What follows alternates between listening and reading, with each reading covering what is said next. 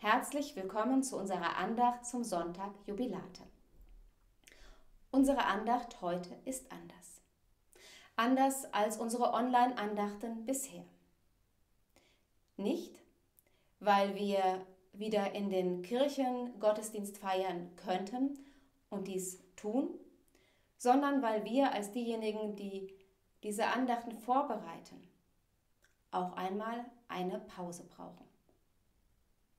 Keine Pause, die bedeutet, dass wir gar nicht miteinander feiern können, sondern einfach eine Pause, die bedeutet, dass wir heute anders feiern und dass ich sie mit hineinnehme in unsere Gedanken, in unsere Überlegungen, in ein Feiern gerade jetzt und hier, im Namen des Vaters und des Sohnes und des Heiligen Geistes. Unser Gott, schenke uns an diesem Tag. Die Kraft, die wir brauchen, die Gedanken, die uns auf deinem Weg sein lassen, den Geist, der uns Gemeinschaft sein lässt, in der Nähe und in der Ferne, die Liebe, die uns verbindet. Und der Trost, der kommt, wenn wir traurig sind die Stärke, die uns Kraft schenkt, wenn wir uns schwach fühlen.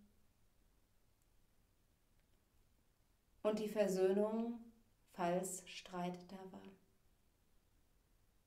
Du sei in Vollkommenheit und so wie wir es aufnehmen können.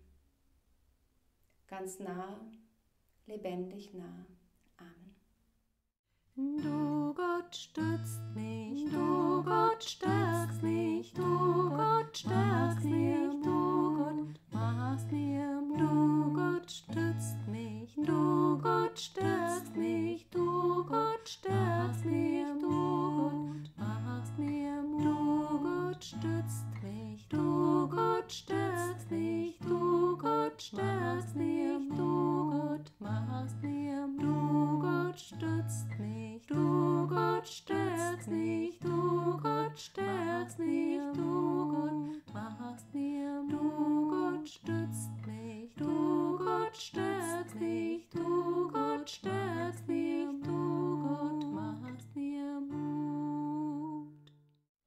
Christus spricht, ich bin der Weinstock und ihr seid die Reben.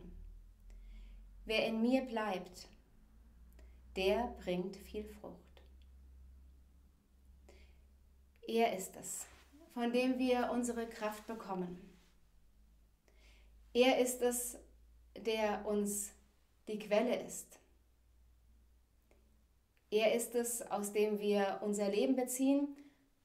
Und er sagt nicht, kommt alle in unseren Kirchen zusammen und nur dort werdet ihr meine Kraft empfangen, sondern er sagt, ich bin der Weinstock und ihr seid die Reben und ich verstehe es so, dass wir seine Kraft dort empfangen können, wo wir immer auch sind. Natürlich finde ich es schön und gut, wenn wir als Christinnen und Christen in unseren Kirchen oder Gemeindehäusern drinnen oder draußen zum Gottesdienst zusammenkommen können.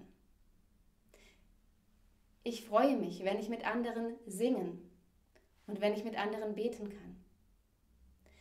Ich freue mich, wenn ich durch einen Blick, durch ein Lächeln, durch ein in die Augen schauen die Nähe zu einem anderen Menschen besonders spüren kann. Es tut mir gut, wenn mich jemand in den Arm nimmt oder wenn ich jemand in den Arm nehmen kann. Aber unsere Zeiten sind im Moment anders. Und auch wenn sich nach und nach Öffnungen ergeben, und wir uns nach und nach daran freuen können, dass all das, was wir an Entbehrungen bis jetzt auf uns genommen haben, dazu beigetragen hat, dass dieser Virus, der im Moment herumgeht, in unserem Land nicht solche gravierenden Folgen hat wie woanders, ist er weiter da. Und deshalb gilt es im Moment weiterhin Abstand zu haben. Es gilt weiterhin Entbehrungen auf sich zu nehmen und sich an manches auch zu halten und Einschränkungen noch zu tätigen, obwohl wir es vielleicht anders dürften. Einfach weil es vernünftig ist, weil es dem Leben dienlich ist und weil wir gerade dort ganz lebendige Reben an dem Weinstock Jesu Christi sein können. Das ist nicht einfach. Für Sie nicht und für mich nicht. Es ist nicht einfach, mit den Gegebenheiten, von denen wir heute nicht wissen, wie sie morgen aussehen, Entscheidungen zu treffen. Es ist nicht einfach, Menschen nicht sehen zu können, die wir lieben.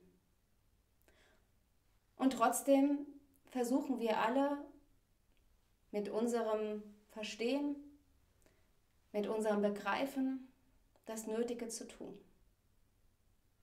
Mit unserer Kraft. Indem wir dann das bereitstellen, was wir können. Zum Beispiel Online-Andachten, miteinander verbunden an unterschiedlichen Orten, Gottesdienst feiern, anders, aber eben doch verbunden. Manchmal aufgeschrieben und dann vorgelesen, ausgereift und manchmal aus dem Stegreif, so wie jetzt. Ich wünsche uns, dass wir weiterhin gut auf dem Weg bleiben. Ich wünsche uns, dass wir, dass viele Menschen vom Tod und von der Krankheit verschont bleiben. Ich wünsche uns, dass wir einander Trost geben können, wo es anders ist. Ich wünsche uns, dass wir irgendwann wieder voller Freude in unseren Kirchen und draußen ganz real uns sehend und in den Arm nehmend Gottesdienst feiern können. Ich wünsche uns, dass wie es auch ist, wir Gott als unsere Kraft auf dem Weg erleben und einander Halt geben. Unser Gott, so sei du unsere Stärke, sei du unsere Kraft, sei du die Liebe, die in uns strömt und aus uns heraus, sei du die Pause, die du uns gönnen magst, wann immer wir sie benötigen. Sei du das Licht auf unserem Wege und für die Welt. In der Stille bringen wir dir, was uns gerade besonders auf dem Herzen liegt, worum und für wen wir dich bitten wollen.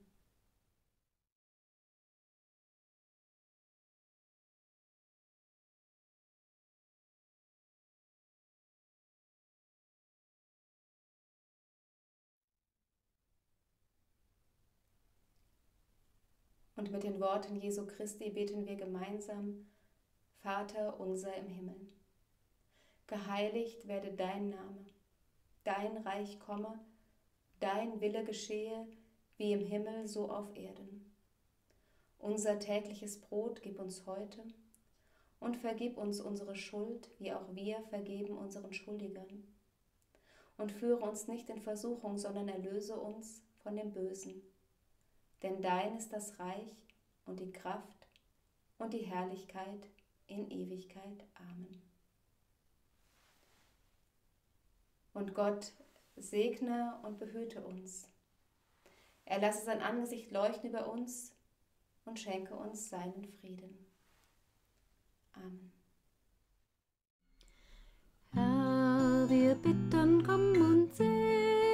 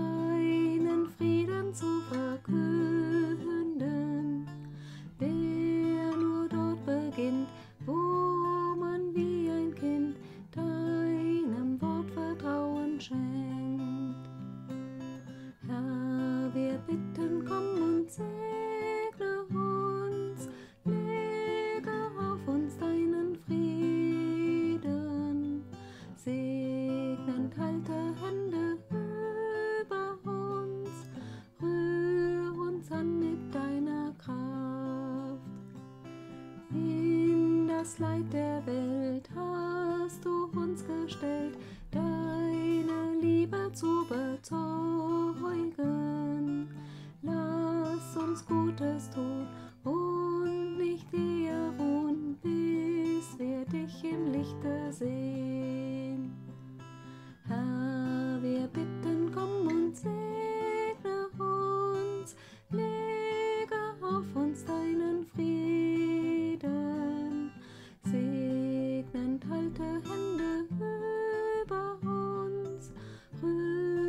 sun.